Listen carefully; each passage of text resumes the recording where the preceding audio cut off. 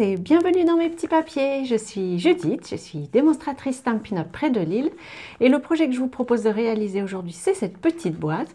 Alors le point de départ ça a été cet accessoire qui devient très utile de nos jours et que pourquoi pas on offre de temps en temps quand on anime un atelier. Et du coup voilà c'était mon point de départ mais évidemment c'est une boîte dans laquelle vous pourrez mettre tout ce que vous avez envie de mettre.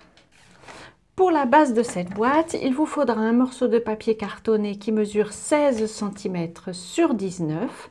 Nous allons marquer les plis de la manière suivante. Alors comme toujours, vous retrouverez toutes les dimensions sur le site dont le lien se trouvera dans la barre d'infos. Le premier pli, si je mets les 19 cm en haut, va se trouver à 3 cm que je mesure sur ce côté-là. Ensuite, 15 cm. Et 18 cm. Et dans l'autre sens, nous allons marquer un pli que je retrouve mes dimensions à 4,5 cm, 7,5, 12 et 15. Nous avons terminé de marquer les plis. Pour faire la découpe plus facilement, je vais d'abord bien marquer mes plis avec mon plioir.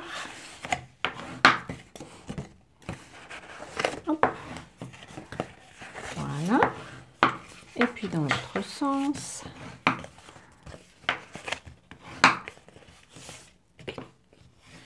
Comme ceci. Alors j'espère que vous verrez à peu près bien. Nous avons une bande ici sur le long. Les 16 cm se trouvent là et les 19 ici. Voici les découpes que nous allons faire. Nous allons déjà enlever complètement cette petite languette qui ne nous, servira pas. Et la même chose pour la languette ici. Donc on ne garde que le milieu. Et là, on enlève. Quand je regarde le papier de dans ce sens-ci, on a une bande ici et là on a deux bandes, dont une qui est toute petite en haut. Ici c'est le bas et comme toujours, on va couper le long de toutes les lignes verticales en découpant l'épaisseur en fait. Je découpe à chaque fois à gauche et à droite du pli qui a été formé avec le, coupe-papier. Et j'enlève l'épaisseur, ça permet juste une finition plus jolie à la fin. Vers le haut, en fait, pour vous servir de repère, vous pouvez commencer à former la boîte. L'endroit où vous allez coller, c'est toujours l'arrière de la boîte parce que c'est peut-être le côté le moins joli, donc autant qu'il soit à l'arrière. Ce qui veut dire que ce morceau-ci, ça va être votre fermeture. Et donc, les deux parties carrées vont servir de fermeture. Ça va être les languettes de fermeture. Donc, on va couper à nouveau de part et d'autre du pli. Ici, je coupe uniquement d'un côté. C'est pas la peine de couper des deux. C'est pas très grave si vous le faites, mais ça n'apporterait rien. Et je coupe ici aussi sur le côté du pli. Et en fait, cette partie-ci, on va l'enlever complètement. Je cherche un angle qui soit confortable. Voilà, on va dire que ici, c'est le moins inconfortable. Et puis, sur les deux languettes ici, on va enlever la partie supérieure qui nous sert surtout pour le couvercle, en fait. Voilà, tout ça, j'enlève. Ça, ici, c'est notre couvercle. Pour faciliter la fermeture, je vais arrondir les coins. Si vous n'avez pas cette perforatrice-ci, vous pouvez aussi couper votre languette en biais. Ça devrait fonctionner aussi. Voilà. Et puis, avant de monter la boîte, parce que ce sera plus confortable, on va y coller les décorations. Donc, comme je vous disais tout à l'heure, je vous indiquerai les dimensions de ces morceaux, mais de tête, il mesure 11 cm et demi sur 4,5 et puis ceci 11 cm et demi sur 2,5 de tête. pour, pour être plus sûr, je vous propose de vérifier sur le site. Ce sera plus sûr. Hop, ma décoration étant posée, je vais pouvoir coller la boîte. Alors, j'aime bien coller ces parties de boîte avec du, de l'adhésif découpe facile. Maintenant, vous pouvez le faire avec euh, du l'adhésif CC les plus, euh, vraiment ce qui ou de la colle liquide avec l'adhésif que vous préférez. Ici, je vais pouvoir enlever toute la languette d'un coup parce que comme c'est une boîte, les dimensions sont parfaites. Et je vais fermer, donc d'abord les côtés, puis l'arrière, et je termine par le devant. Là, je ne suis pas sûre que ce soit une règle. En tout cas, terminer par le devant, ça, a priori, c'en est une. Parce que euh, ça vous fait une plus jolie finition sur le devant de la boîte. Pour terminer la décoration, alors je vais la fermer. Vous voyez l'intérêt des coins arrondis ici, c'est que le tout se ferme beaucoup plus facilement. Pour la décoration de ma boîte, je vais utiliser le set de tampons Suez en ovale que je trouve... Alors, je suis très contente de que ce set de tampons soit sorti. Alors, je vais vous montrer tout de suite après ce qui me fait... Ce qui me plaît beaucoup, c'est la perforatrice qui est assortie au set de tampons.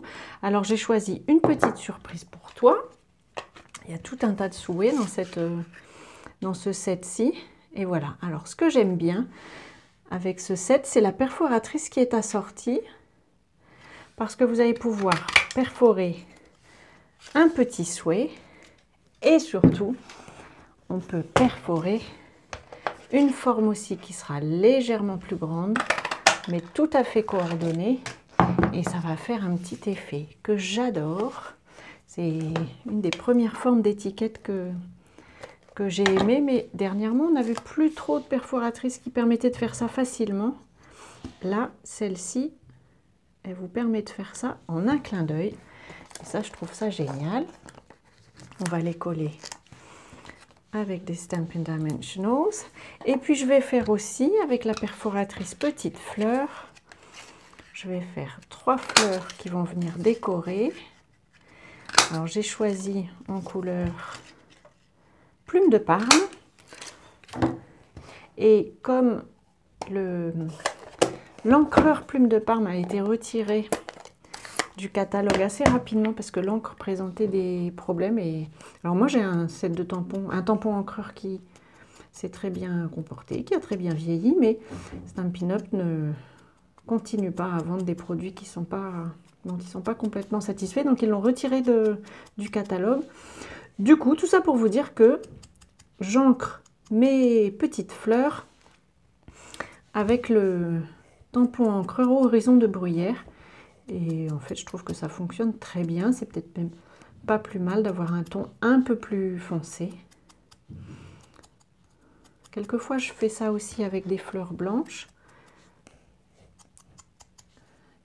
Et ça, je trouve ça. Je suis très contente que cette perforatrice soit restée au catalogue, alors que, à ma connaissance, il n'y a plus de tampons qui lui soient assortis. Mais ces petites fleurs ombrées, je les trouve vraiment très jolies.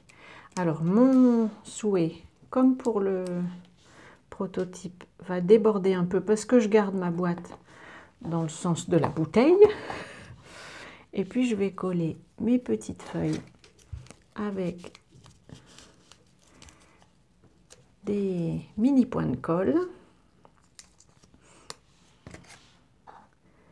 Alors, je vais peut-être en mettre une carrément le souhait. Peut-être un peu plus décalé quand même pour qu'on puisse lire le souhait. Voilà, c'est mieux. Et puis les autres, je vais les mettre un peu partout. Alors vous m'avez déjà vu faire. Hein.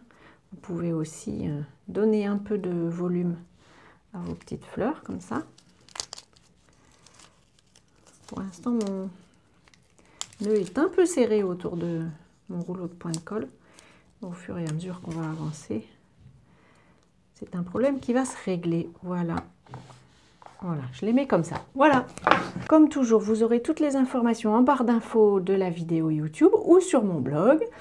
Avant notre prochaine rencontre créative, je vous souhaite comme toujours de passer de belles journées et bien entendu, je vous embrasse.